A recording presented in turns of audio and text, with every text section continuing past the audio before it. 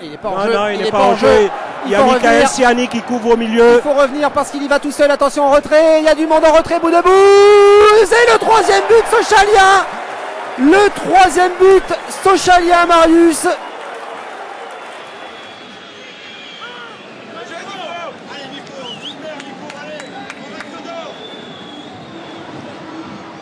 Et il la touche, hein, Cédric Carasso, je crois, cette balle, mais pas assez.